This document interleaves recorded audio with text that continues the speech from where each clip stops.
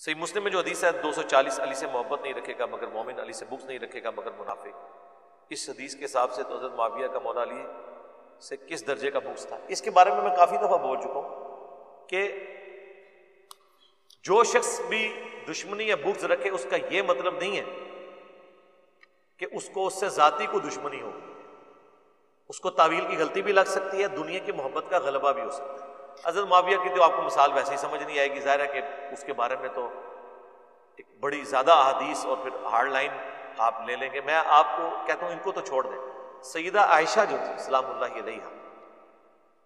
क्या उन्होंने हज़रत अली से जंग नहीं की है? तो हम क्या कहेंगे कि वो मोमिना नहीं थी?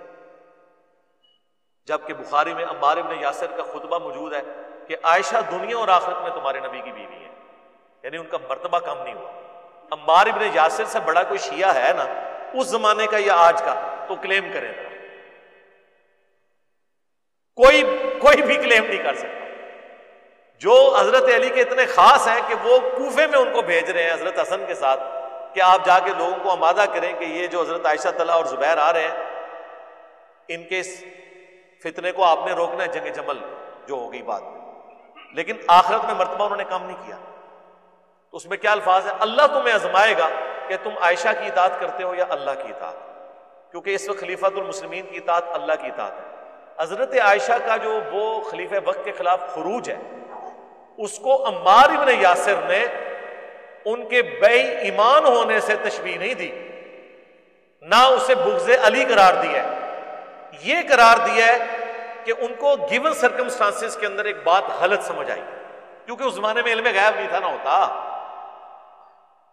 इल्म गैब जो तुम बनाया सी ना वो साहबा की जंगों ने ही बता दिया कि इल्म गैब तो शाही कोई नहीं रहा। हाँ वो सिर्फ़ अंबिया का खास है। उन्हें अल्लाह ताला इल्मुल गईब देता है। वमा कान अल्लाह गईब तुम्हारी क्या औकात है कि अल्लाह तुम्हें गैब पर इतला दे? वलाकिन अल्लाह यजतबी में रसूल ही मैं शाह अल्लाह चुन लेता है अपने रसूलों में से जिसे चाहता तो साहबा कराम को अगर इल्म गैब होता है, यहाँ पे लोग कहते हैं, नहीं, गलत फहमी होगी, सी होगी, सी जो बिच बागिया ने लड़ाता फलाने ने। अल्लाह तो मुझे बाद तकांगे, पहले दसो, इल्म गैब कितने गया? देखो कैसा दिमाग गया मेरा। मेरा रहमानी दिमाग कितने गया कि थोड़े सारे शैतानी दिमाग चौदह सौ साल दे। गलत अकीदे तो पढ़ाते रहे इंज गैब हो गए। कि इल्म गैब कितने गया? आप तो कहते हैं कि जी, अब्दुल कादर जिलानी और गौस जो होते हैं, वो पूरी कायनात को एक जर्रे की तरह हथेली पे देख रहे होते हैं। और साहब कराम के घोड़े के कदमों की खाक को कोई गौस कुतुब अब्दाल नहीं पहुँच सकता। हाँ हूँ दसो, इलमे गैब कितने गया? दिल का हाल जानना कितने गया? क्यों नहीं हज़रत आयशा को हज़रत अली के दिल का हाल पता चला? हज़रत जुबैर तो जंग में आ गए, हाकिम और मुस्नद अहमद में आता है। हदीस भी भूल चुके थे, हज़रत अली ने याद करवाया कि याद है जुबैर, हजूर ने तुझे कहा था, तू जालिम होगा जब तू अली से लड़ रहा होगा।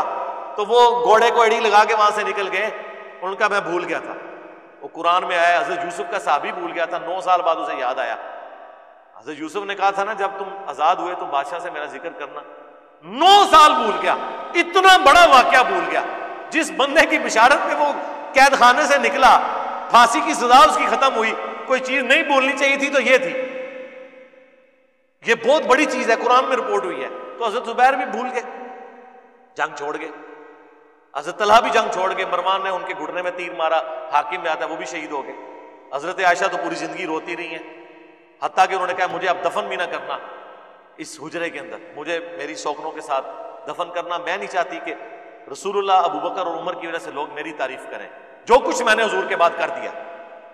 क्योंकि हुक्म था कि नबी की बीवियों घरों में ठहरी रहो। हज़रत आयशा जब थी, और क्या हजूर की बीवियाँ नहीं थी? कोई नहीं निकली जंग के लिए। उल्टा वो इनको रोकती नहीं। बाद में फिर देख लें। खैर, ये एक तल्ख चीज़ है तो आप ये जंग जमल में मौला अली के मुखालिफ साहबा का भाई, मौला अली ने माफ़ कर दिया उनको, सबके लिए दुआएँ की हैं। हाकिम में मौजूद है मुसनब इबन शहबा में फ़जाल साहबा में, कि मैं उम्मीद करता हूँ कि कुरान में सूरतुल हिजर में जो आया, कि अल्लाह ताला ईमान के दिलों में एक दूसरे के खिलाफ नफरतें निकाल देगा। फिर वो तख्तों पर बैठे होंगे, आमने सामने टेक लगाइए मेरे तलहा जुबैर और उस्मान के बारे में। मसला तो मामूक है ना, इनका तो कोई मसला नहीं।